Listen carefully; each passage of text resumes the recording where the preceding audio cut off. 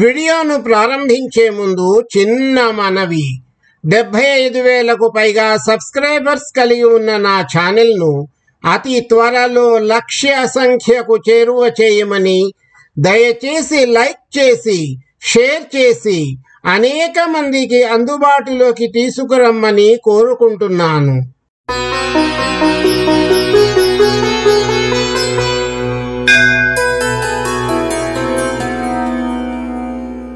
అయోధ్యానగర రాజైన పురంజయునిపై కాంభోజరాజు తన సైన్య బల సమేతముగా రహస్య మార్గములో వచ్చి అయోధ్యానగరమును ముట్టడించి నాలుగు వైపులా శిబిరములు ఏర్పాటు చేసి నగరమును దిగ్బంధించి యుద్ధమునకు సిద్ధపడ్డాడని తాను బలహీనుడనని తెలిసి కూడా పురంజయుడు కాంభోజరాజును ఎదుర్కొనడానికి సిద్ధపడ్డాడని యుద్ధభేరి మ్రోగించి సింహనాదము గావించుచు మేఘములు గర్జించునట్లు హుంకరించి శత్రు సైన్యముపై విరుచుకుపడ్డాడని ఇరవయవ రోజు పారాయణలో వివరించిన వశిష్ఠ మహర్షి తన ఇరవై ఒకటవ రోజు పారాయణలో ఈ విధముగా వివరిస్తున్నారు.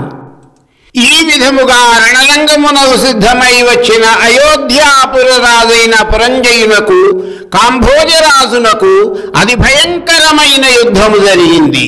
ఆ యుద్ధములో రధికులు రధికులతోనూ అశ్వ సైనికులు అశ్వ సైనికులతోనూ గజసేనలు గజ సైనికులతోనూ పదాతి దళములు పదాతి సైనికులతోనూ మల్లులు మల్ల యుద్ధ నిపుణులతోనూ ఖడ్గ గద బాణ పరశువు మొదలగు ఆయుధాలు ధరించి సైనికులు పరస్పరము ఒకరితో ఒకరు ఢీకొనుచు భయంకరముగా అహంకరించుకొనుచు సింహనాదములు చేసుకొనుచు తమలోని సూరత్వ వీరత్వములను ప్రదర్శించుచు భేరీదుందుభులు వాయించుకొనుచు శంఖములను పూరించుకొనుచు ఇరు సైన్యముల వారు విజయకాంక్షతో యుద్ధము చేసిరి. అతి భయంకరముగా మహాఘోరముగా యుద్ధము జరుగుతున్న ఆ రణభూమిలో ఎక్కడ చూచినా కూడా విరిగిన రథముల భాగములు తలలు తెగిన మొండెములు విరిగిపడిన ఏనుగుల తొండములు తెగిపడిన తలలు చేతులు ఇతర శరీర భాగములు హాహాకారములతో అతి దీనంగా బాధతో వినిపిస్తున్న ఆక్రందనలు పర్వతముల గుట్టలే పడి ఉన్న ఏనుగుల గుర్రముల కళేబరముల దృశ్యములే కనిపించుచున్నవి. ఆ మహాయుద్ధములో వీరత్వము చూపి మరణించిన జీవులను తీసుకువెళ్ళడానికి దేవతలు పుష్పక విమానముపై వచ్చిరి. ఆ విధముగా ఆ భయంకరమైన యుద్ధము సూర్యాస్తమయము వరకు జరిగినది. కాంభోజరాజు యొక్క సైన్యము చాలా నష్టమైపోయినా మూడు అక్షోహిణులున్న పురంజయుని సైన్యమును కాంభోజరాజు సైన్యములు అతి సాహసముతో పట్టుదలతో ఓడించినవి. పెద్ద సైన్యమున్నను పురంజయునికి అపజయము తప్పలేదు. దానితో పురంజయుడు రహస్య మార్గములో శత్రువుల కంటపడకుండా తన నివాసమునకు పారిపోయెను. బలోపేతులైన కాంభోజరాజు సైన్యములు పురంజయుని రాజ్యమును ఆక్రమించుకున్నాయి. పురంజయుడు ఎంతో విచారముతో ఓటమికి కృంగిపోయి సిగ్గుతో దుఃఖించుచుండెను. ఆ సమయములో వశిష్ఠ మహర్షి వచ్చి పురంజయుని ఊరడించి రాజా నేను ఇది వరకు ఒకసారి నీ వద్దకు వచ్చి తిని నీవు ధర్మమును తప్పి జరించినావు. నీవు చేస్తున్న ఆగడములకు దురాచారములకు అంతు లేకుండా పోయినది. ఇకనైనను సన్మార్గుడవై ఉండుమని అప్పుడే హెచ్చరించి తిని కాని నీవు నా మాటలు పెడచెవిని పెట్టినావు. నీవు భగవంతుని సేవింపక అధర్మ ప్రవర్తనుడవై ఉన్నందుననే ఈ యుద్ధమున ఓడి నీ రాజ్యము శత్రువుల పాలైనది. కనీసము ఇప్పటికైనా నా పలుకులను ఆలకింపుము.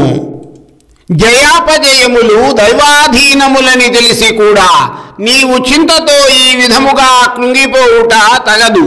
శత్రురాజును యుద్ధములో జయించి నీ రాజ్యమును నీవు తిరిగి పొందవలనన్న కోరిక ఉన్నట్లయితే నా హితోపదేశమును అలకింపుము ఇది కార్తీక మాసము. రేపు కృత్తికా నక్షత్రముతో కూడిన పౌర్ణమి. కావున నీవు నదీ స్నానమాచరించి జప తపాది నిత్యకర్మలను నిర్వహించుకుని దేవాలయమునకు వెళ్ళి దేవుని సన్నిధిలో దీపారాధనము గావించి భగవన్నామస్మరణను చేయును ఈ విధముగా చేసినట్లయితే నీకు పుత్ర సంతతి కలుగుతుంది. అదియే కాక శ్రీమన్నారాయణుని అర్చించుట వలన శ్రీహరి మిక్కిలి సంతోషించి నీ శత్రువులను సంహరించుటకు నీకు చక్రాయుధమును కూడా ప్రసాదించును. కనుక రేపు అట్లు చేసిన ఎడల పోగొట్టుకున్న రాజ్యమును తిరిగి పొందగలవు. నీవు అధర్మ ప్రవర్తకుడవై దుష్ట సహవాసమును కలిగి దురాచారములు చేయుట చేత నీకు అపజయము కలిగినది. కావున లెమ్ము శ్రీహరిని నీ మదిలో తలంచి నేను వివరించినట్లు చేయుమని హితోపదేశము చేసెను.